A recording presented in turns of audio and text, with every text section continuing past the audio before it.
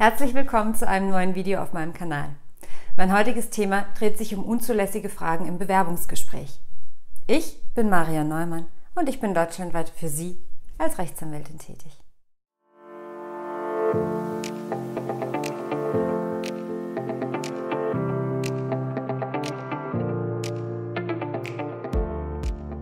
Im Bewerbungsgespräch stellt der potenzielle Arbeitgeber dem Bewerber natürlich viele Fragen. Er möchte viel über ihn wissen und er möchte ihn näher kennenlernen. Eine Reihe dieser Fragen ist allerdings unzulässig. Die Folge der Unzulässigkeit ist, dass der Bewerber die Beantwortung dieser Fragen einfach verweigern kann. Allerdings kann eine solche Verweigerung natürlich für ihn auch negative Konsequenzen im Bewerbungsprozess haben.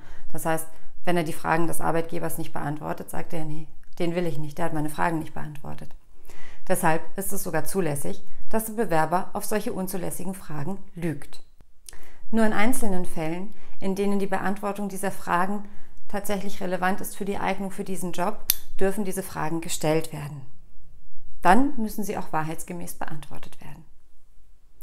Die häufigsten Fragen sind, wollen Sie Kinder haben? Sind Sie schwanger? Wie ist denn Ihr Familienstand? Haben Sie eine Behinderung? Welcher Religion gehören Sie an und sind Sie überhaupt religiös? Sind Sie Gewerkschaftsmitglied? Waren Sie mal im Gefängnis oder sind Sie vorbestraft? Gehören Sie einer Partei an? Was macht denn Ihr Partner beruflich? Trinken Sie gelegentlich Alkohol oder rauchen mal einen Joint? Welche sexuellen Neigungen haben Sie? Sind Sie homosexuell? Sind Sie Raucher? Wie hoch war denn Ihr bisheriges Gehalt? Besitzen Sie Aktien, Immobilien oder sonstiges Vermögen? Was für Krankheiten haben Sie? Sind Sie Allergiker? Haben Sie HIV? Oder hatten Sie schon mal einen Burnout? Woher kommen Sie? Dies war nur ein Auszug der Fragen, die unzulässig sind im Bewerbungsgespräch. Die Frage nach einer bestehenden Schwangerschaft zum Beispiel ist auch nicht einmal dann zulässig, wenn sich die Bewerberin auf eine zeitlich befristete Stelle bewirbt und sie aufgrund ihrer Schwangerschaft den größten Teil dieser befristeten Arbeitszeit nicht arbeiten kann. Zulässig ist die Frage nach einer bestehenden Schwangerschaft ausschließlich dann, wenn dieser Job ausschließlich zur Schwangerschaftsvertretung geschaffen wurde. Die Frage nach einer bestehenden Behinderung ist nur dann zulässig, wenn der Arbeitgeber aufgrund der speziellen Anforderungen, die der ausgeschriebene Job mit sich bringt, ein berechtigtes Interesse daran hat. Die Frage darf also rein tätigkeitsbezogen sein. Im Übrigen darf der Arbeitgeber den Arbeitnehmer allerdings nach sechsmonatigem Bestehen des Arbeitsverhältnisses durchaus nach dem, nach dem Bestehen einer Behinderung fragen. Denn die Frage, ob einer behindert ist oder nicht, spielt in zwei wichtigen Punkten eine große Rolle.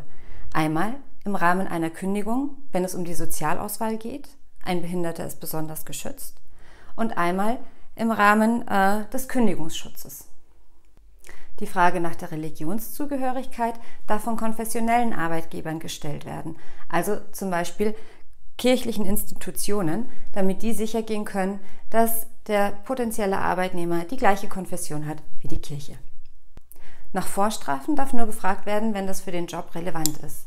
So darf ein Bewerber für eine Lkw-Fahrerstelle gefragt werden, ob er wegen Verkehrsdelikten vorbestraft ist. Die Frage nach Alkohol- oder Drogenkonsum ist dann zulässig, wenn dieser Konsum Auswirkungen auf die Arbeitsleistung haben kann. Dies insbesondere bei gefährlichen Jobs oder verantwortungsvollen Jobs wie Pilot, Gerüstbauer, Kraftfahrer oder Maschinenführer. Nach den Vermögensverhältnissen darf der Arbeitgeber bloß fragen, wenn es um eine Führungsposition geht. Denn der Arbeitgeber kann von den persönlichen finanziellen Verhältnissen des Bewerbers auf die Zuverlässigkeit des Bewerbers generell im Umgang mit Vermögen schließen.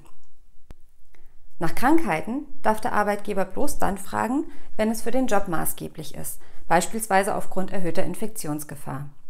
So darf ein Krankenpfleger zum Beispiel nach einer HIV-Infektion gefragt werden. Andererseits obliegt dem Bewerber eine Aufklärungspflicht, wenn er ansteckende Krankheiten hat oder an einer Krankheit leidet, aufgrund derer er den Job überhaupt nicht ausführen kann. Dann muss er den Arbeitgeber von sich aus darauf hinweisen, ohne dass der Arbeitgeber nach bestehenden Krankheiten gefragt hat. Anhand dieser Beispiele sehen Sie, dass also an sich unzulässige Fragen nur in Ausnahmefällen auch einmal zulässig sein können. Das war's schon wieder für heute. Vielen Dank fürs Zusehen. Ich hoffe, das Video hat Ihnen gefallen. Ich freue mich, wenn Sie meinen Kanal abonnieren, einen Kommentar hinterlassen und natürlich auf Gefällt mir klicken. Bis zum nächsten Mal.